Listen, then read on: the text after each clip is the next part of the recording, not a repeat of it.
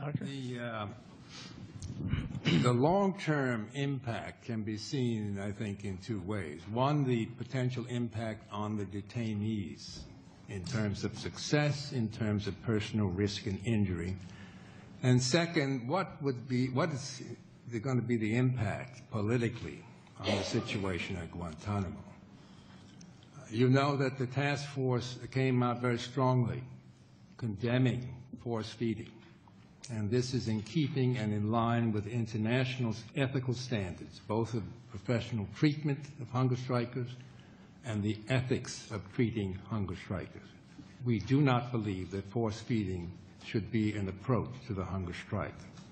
If you can imagine being a detainee and using refusal to eat as a form of protest, and then you are forced to eat, forced physically to eat by being strapped into a specially made chair and restrained, having restraints put on your limbs, your arms, your legs, your body, your head, so you cannot move. Having a tube inserted into your throat that extends into your stomach, and you're trying to resist that with the only muscles that are free in your throat. Pain, discomfort, obviously.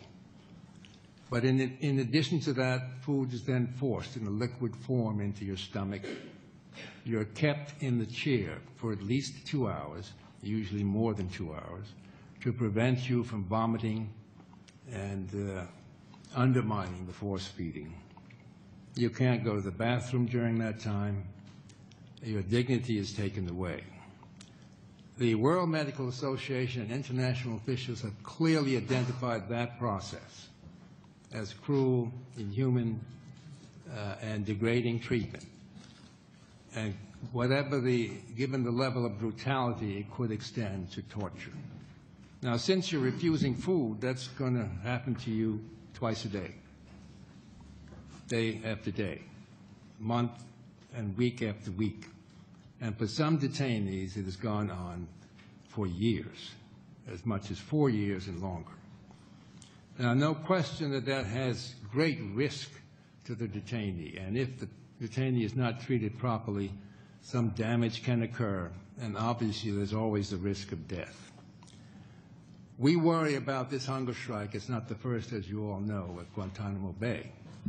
Perhaps the most dramatic, most focused and extensive were in 2005, and there were two, uh, dealing with conditions of the detention camp and beginning to come to grips on part of the detainees with the extended detention, the hope of uh, getting out of Guantanamo Bay.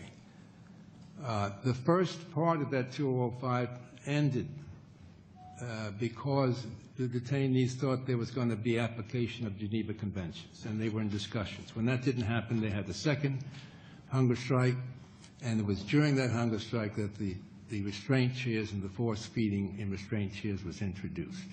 This now is a hunger strike occurring uh, with very different circumstances.